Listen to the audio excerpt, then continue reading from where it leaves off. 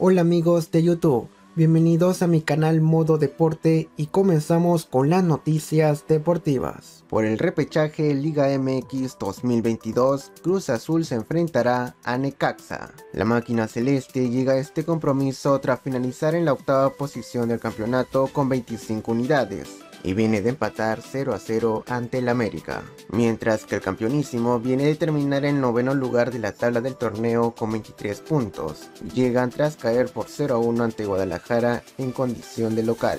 Este juego está programado para el día sábado 7 de mayo a las 5 y 45 de la tarde, hora Ciudad de México.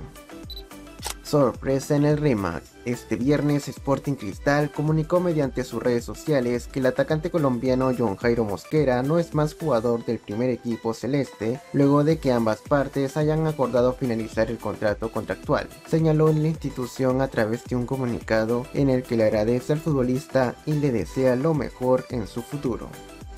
Si te gustó el video apóyame con un pulgar arriba, suscríbete activando la campanita que es totalmente gratis y nos vemos en un próximo video.